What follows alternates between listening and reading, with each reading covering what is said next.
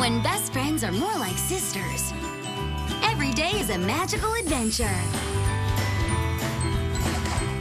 Mattel's Frozen Castle and Ice Palace is a proud sponsor of Disney Junior. Dolls sold separately.